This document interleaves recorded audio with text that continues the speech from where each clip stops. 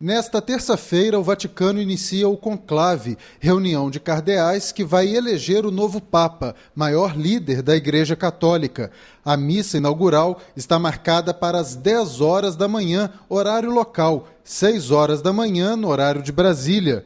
O arcebispo metropolitano de Belo Horizonte disse que a arquidiocese está unida ao Vaticano em oração.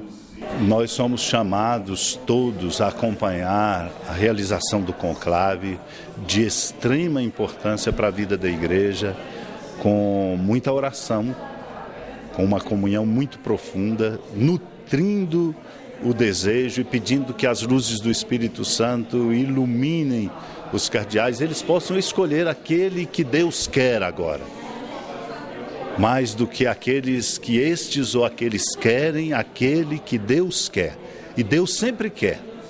Ele quer o bem nosso, ele quer as pessoas como servidoras, que nós possamos ter agora, e essa oração nossa é importante, a capacidade de escutar Deus e de escolher para que nós possamos continuar esse caminho e dar as respostas que a igreja precisa dar renovando-se, purificando-se e sendo de fato essa presença evangélica e servidora no coração do mundo. É um momento de extrema importância que precisa ser vivido, sobretudo na oração e na comunhão.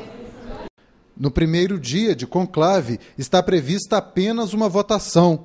A eleição acontece diariamente, até que o novo Papa seja eleito com dois terços dos 115 votos. Repórter Léo Mendes para o Horizonte Notícia.